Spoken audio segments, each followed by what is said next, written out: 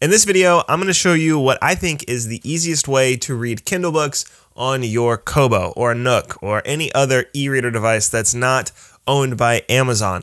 It's a little bit of a process, but it's really easy. And once you get it going, it's going to be super easy to transfer over books in the future. But getting set up is not hard, but just a little bit of a process that I'm going to walk you through step by step so you'll be up and running in just a few minutes. Now, before we do that though, I do just want to kind of explain why this video is necessary. So Amazon puts something on their books called DRM, which is Digital Rights Management, which basically means that you can't read a Kindle book on a device that's not a Kindle like out of the box. You've got to do some stuff first, which is what this video is about. But I do just want to tell you that it is perfectly legal if you own the books, if you've purchased them and you've legitimately acquired them. It's perfectly legal to transfer them over to another device, but make sure that you are following and observing all copyright laws and maybe even more than that. Make sure that you are supporting authors who work hard and you're not stealing books or getting them illegitimately. Now, with that said, you're going to need some things that you probably, hopefully, already have, but just want to be clear from the outset. You're going to, first of all, need a Kindle,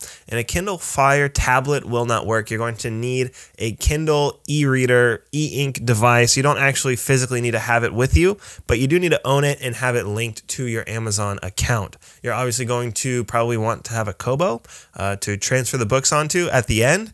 And then you're going to need a computer with internet access. I'll be using a Mac in this video, but any computer will work. And the process for PC, I'm sure, is very, very similar.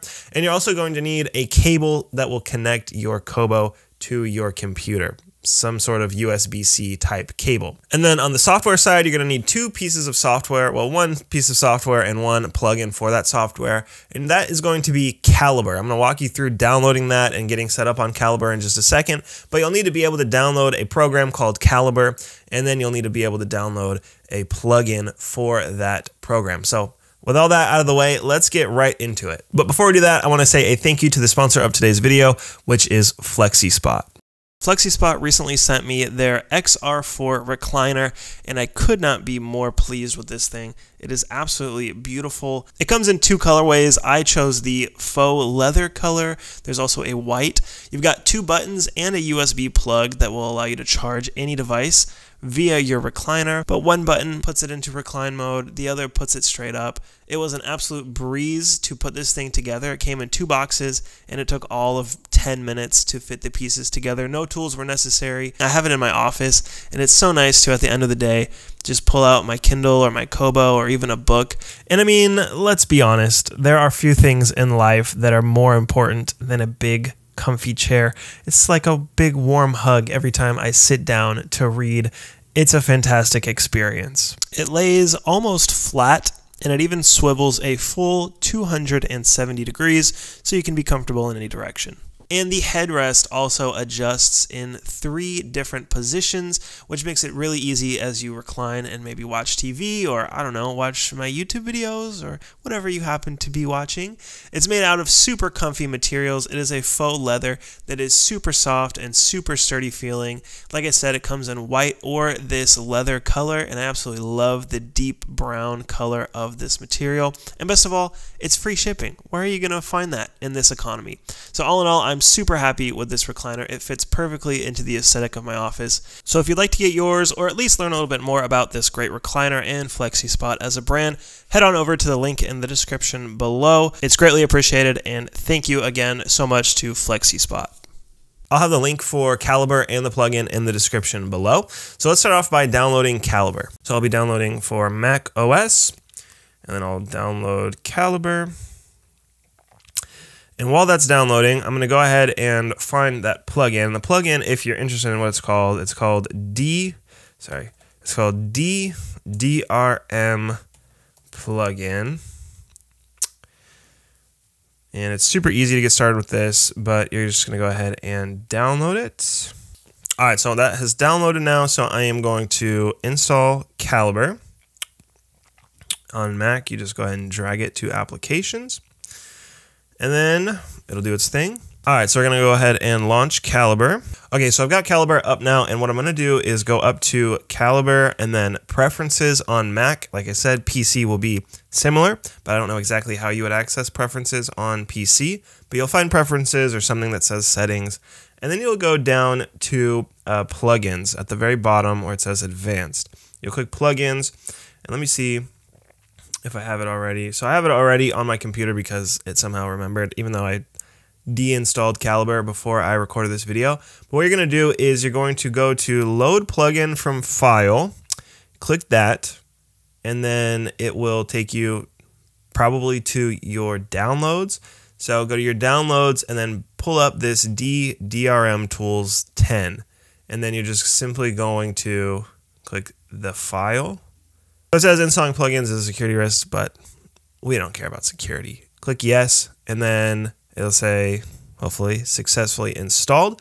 So, all right, sounds good. And you might need to restart to configure Calibre um, with this plugin. So go ahead and restart it and it'll spit you back out where you need to be. But now here is the tricky part, the part that took me forever to finally figure out. In order for this to work, you need to link your Kindle to Calibre. And the way you do that is by entering your serial number. So I'm going to show you how you can easily do that. First off, you just go back to Calibre preferences and then your plugins. So you go back to plugins and then you find the one you just installed. So click file type there in the middle and then it'll be right there. DeDRM. So then you click customize plugin. And once you click customize plugin, you're going to get this pop up and it's kind of overwhelming, but you don't really need to worry about any of it except for the very top one, Kindle e-ink ebooks. So click that and then it's going to prompt you to put in your Kindle serial number. Now I've already got mine there, but you'll just click this green plus and it'll ask you to put in your serial number. So, how do you find your serial number? You can either do it on the Kindle itself, which is the hard way that I would not recommend, or you can go to your Amazon account. So, I'm going to do that. I'm going to show you how you can find it. You're just going to go over to your Amazon account. Amazon.com. So, what you're looking for here on Amazon is content and devices. You can either just search it in the search bar or you can go to your account and then look for it manually and then scroll down to digital content and devices. And then just go to content library second from the top right there. So once you click that it's going to automatically spit you out onto the content screen. And we're going to come back here in just a minute. But what we want to do is click over to devices right next to content. So click that and then it'll bring up an option for either your you know whatever devices you might have but we're looking for kindle. So click kindle and then it'll show you all of your Kindle devices. So it doesn't matter which one you choose, but just click one of these Kindles if you have more than one, right? Just click a Kindle and then um, it'll tell you all the information about that Kindle. And you'll see right there, third from the bottom, serial number. So you just want to copy and paste that information. Just copy your serial number and then just go back over to Calibre and paste it into this box and then click OK. And then once you've done that, click close and then click OK again. So now you're all set up on Calibre. And I guess one thing I maybe should have mentioned beforehand is that Calibre is going to magically transfer this file into a file that your Kobo can read. It's going to, because of the plugin we downloaded, take off the DRM, hence the title DeDRM, take off that DRM layer on the file and transfer it over to a file that your Kobo can read. How it works is not super important, but it does work. So, so let's go back over to Amazon and we're going to navigate back over to the content tab on content and devices. We're going to look at books for this video. And then you're just going to find a book. So, um, most of these are my wife's books, and I don't know exactly which one she might want on the Kobo, but let's just pick one. Um, so find a book that you want click more actions next to that book. And then it'll say download and transfer via USB. So you want to click that, download and transfer via USB, and it'll ask you where you want to send this device. Make sure that you send it to the device that you just copied the serial number for. So if you only have one, it's going to be easy. But for me, uh, it was kind of a struggle to remember which one I did, but I did Dylan's Kindle. So the very bottom one there for me and then just click download. And then it will download that book to your computer. And then once it's done that, you're going to go back over to Calibre. You want to get out of, we don't need uh, this stuff anymore. We're just going to go back to the main page here on Calibre. And we're going to add a book.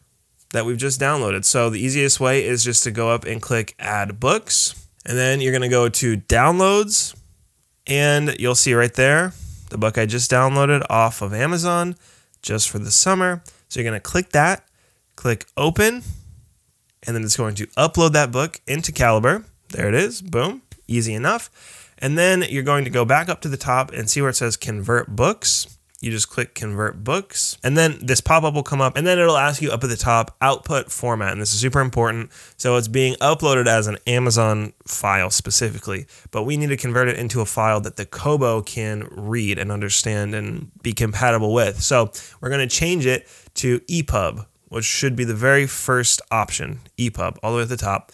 Click that and then click ok and then it will do its magic. It's converting.